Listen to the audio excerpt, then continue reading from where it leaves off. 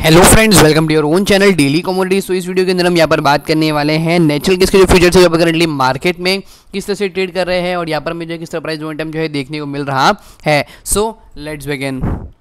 तो हम यहाँ पर सबसे पहले 15 मिनट के हिसाब से स्टडी का सेशन देख लेते हैं कि किस तरह का जो है यहाँ पर हमें ट्रेड होते हुए देखने मिला है। एक अच्छा सा gap down opening just as it की यहाँ पर हमें क्रूड के देखने मिला और उसके बाद ताबड़तोड़। यहाँ पर मैंने आपको बताया कि ये जो गैप है वो फिल होना बाकी और ये गैप फिल होना बाकी तो ये जो गैप है वो यहाँ पर हमें एक ही सेशन के अंदर, कल के सेशन के अंदर दोनों कंप्लीट होते हुए देखने को मिले हैं। So this is the speciality of commodity trading की यहाँ पर कभी भी जो गैप बनते हैं वो डेफिनेटली वहाँ पर हमें जो है कवर होते हुए देखने को मिलते हैं। So that is what has happened यहाँ पर शॉर्ट पोजिशन के अंदर कल काफ़ी अच्छा खासा जो है यहाँ पर हमें टारगेट अचीव होते हुए देखने को मिला है। हालाँकि अगर मैं यहाँ पर अभी के हिसाब से बात करूँ तो अभी भी जो है यहाँ पर 489 का एक अच्छा सा जो है बेहतरीन सपोर्ट लेवल है। So definitely below that price level अगर यहाँ पर नेचुरल केस जाता है then we can definitely think about again taking a short position in natural gas futures and again अगर यहाँ से अगर समझ लीजिए 489 के प्राइस लेवल से अगर वहाँ से फिर से जो है रिवर्सल अगर आना स्टार्ट होता है then we can think about taking a long position again for natural gas futures so 489 490 का प्राइस लेवल यहाँ पर काफ़ी ज़्यादा जो है क्रूशियल रहने वाला